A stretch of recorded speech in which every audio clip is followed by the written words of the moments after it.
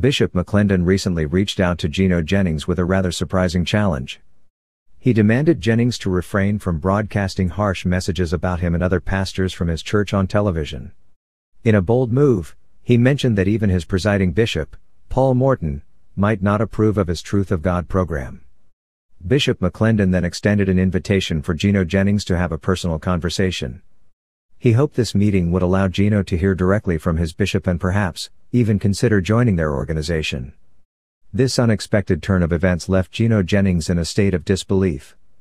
He couldn't help but express his genuine feelings about the situation. In a bold and audacious move, Gino Jennings issued a direct challenge to Bishop Paul Morton and Bishop McLendon, daring them to confront him with the Bible.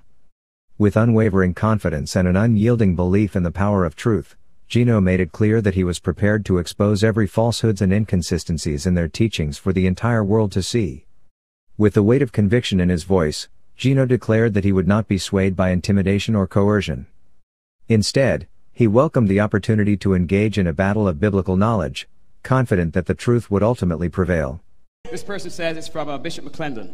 Uh, Pastor Jennings, I'd like you to stop talking about preachers on the Word and on, and on TBN. Bishop McLendon is a member of the Full Gospel Baptist organization in which Paul Morton is our presiding bishop. Mm. I don't think he will be happy about your Truth of God program. Paul Morton. we are demanding that you stop preaching harsh words. My Lord. We are demanding. De- uh, demand? They are demanding. My Lord. Oh my God. They're demanding? They are demanding. Come on. We are demanding that you stop preaching harsh words about our great pastors throughout this country. And our presiding bishop and Bishop McLendon will have a word with you.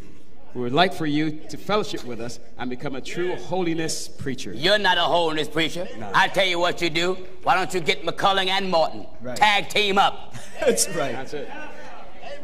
Let's have a tag team. That's right. McCullough and Morton. Right. And God and I. That's right. We are praying God word. That's right. Amen.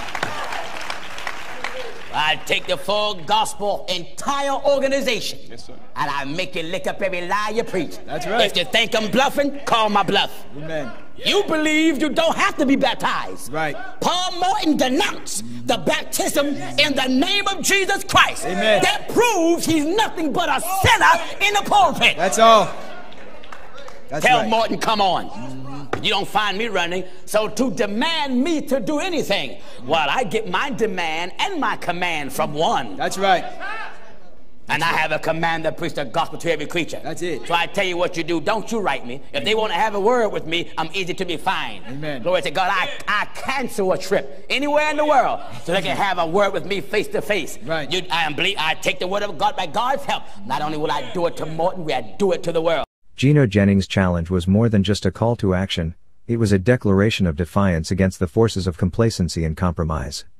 In the face of such boldness and determination, Bishop Morton and Bishop McLendon found themselves confronted with a formidable adversary unlike any they had ever encountered before. Gino Jennings is renowned for his boldness in calling out preachers and churches that are straying from the true teachings of the Bible. His uncompromising stance on standing firmly for the Word of God and the unadulterated truth of the Scriptures has garnered him a reputation as a fearless advocate for spiritual purity. Through his Truth of God program, Gino Jennings fearlessly tackles controversial topics and confronts hypocrisy within the church community. He doesn't shy away from addressing uncomfortable truths or challenging the status quo, even if it means facing backlash or opposition from those in positions of authority. With a fiery passion and unwavering conviction, Gino Jennings has become a voice for those who feel disillusioned by the compromises and inconsistencies they see within organized religion.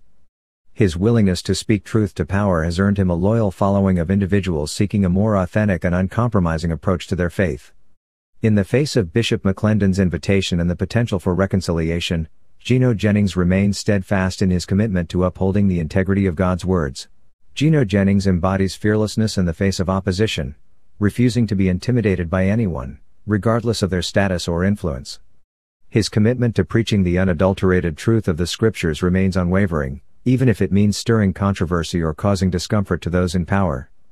With a resolute spirit and unshakable conviction, Gino Jennings boldly confronts hypocrisy and challenges conventional norms within the church community. He understands that speaking truth often comes at a cost, yet he remains undeterred, steadfast in his mission to uphold the integrity of God's Word. Gino Jennings' refusal to compromise on his principles has earned him both admiration and criticism. While some may view his outspokenness as confrontational or divisive, others see it as a refreshing and necessary call to authenticity within a landscape often marred by hypocrisy and complacency. Despite the potential repercussions and the possibility of alienating allies, Gino Jennings remains committed to his calling. He believes that the pursuit of truth is paramount, even if it means risking personal relationships or enduring backlash from those who may feel challenged by his message. In a world where conformity often reigns supreme, Gino Jennings stands as a beacon of unwavering resolve and unyielding integrity. His willingness to speak truth to power serves as an inspiration to countless individuals who seek a deeper, more authentic connection to their faith. Anyways, I hope you enjoyed watching this video, and I do pray that we all continue in striving to please God. Please remember to like, subscribe, and hit the notification bell so you can be notified when new videos are uploaded. Thanks for watching.